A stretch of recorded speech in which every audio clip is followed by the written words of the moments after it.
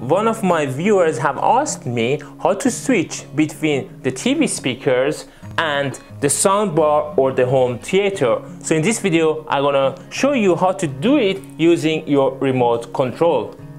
Method number one, select option on your control, then scroll down, go to the speakers and change it to TV speakers if you want TV speakers or audio system if you want your home theater or soundbar.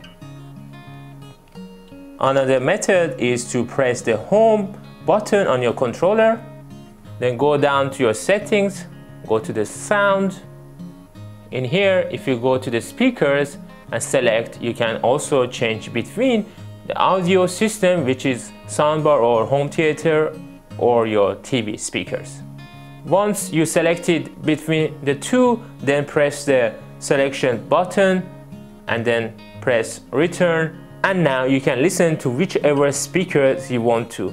I hope this video was useful. If it was, please don't forget to watch my other videos on my left and to subscribe to support my channel. I hope to see you in my next video. Bye bye.